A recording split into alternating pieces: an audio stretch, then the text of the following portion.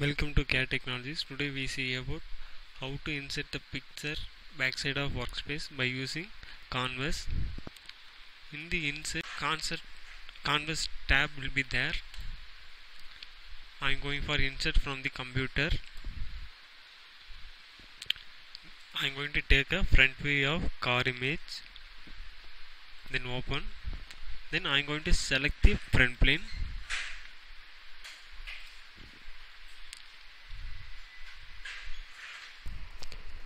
By using horizontal cursor point we can translate the movement in horizontal direction of a car image.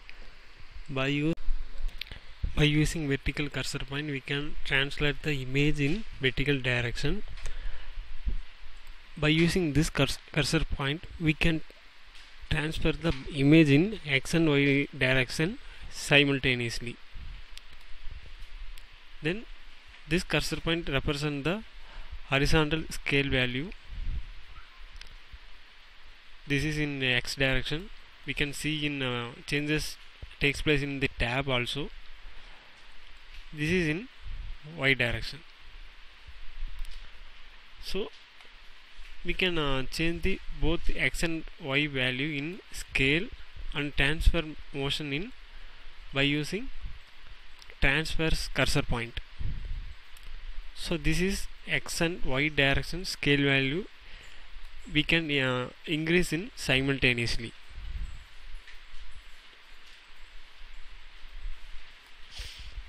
If you are uh, we needed the flip the uh, images by horizontal or vertical by using this tab we can use. So we can change the images as per our requirement then this is the oppo- opacity. So this is the uh, density of uh, images we can see. If your increases dark images we can get. So transparency we can adjust. Then ok means directly it comes. I am going to insert the left side left side view of a car, car image at left side plane. I am going to set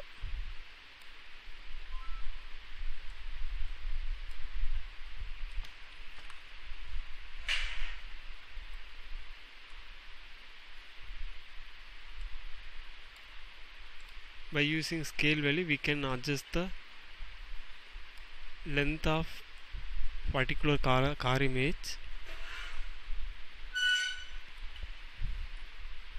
Then I'm going to OK in the top view top plane I'm going to insert the top view of a car image.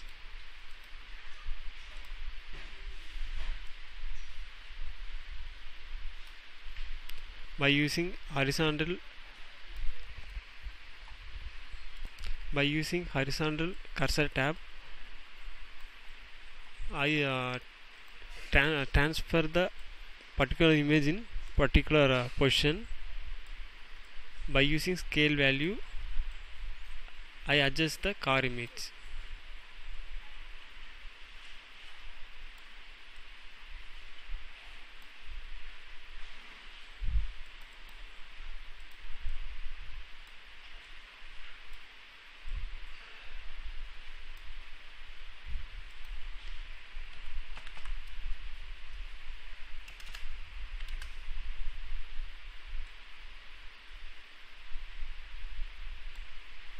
then ok so this is the set the car images from front view top view then left side view.